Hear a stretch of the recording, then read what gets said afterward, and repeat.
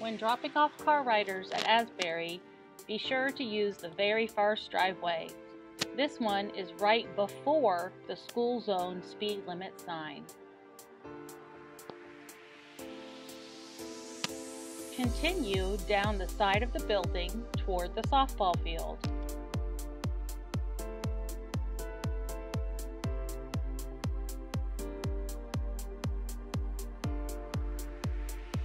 Follow the edge of the parking lot as it goes towards the left and drive past the softball field on the right and staff parking on the left.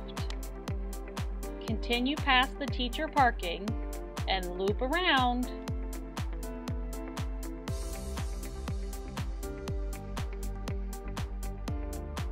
Pull up next to the sidewalk and stop. Make sure your students are wearing their masks. With masks already in place, students can exit the car.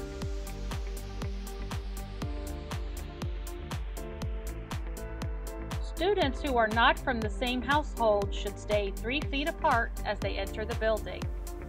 Ms. Stewart's class is the first on the left.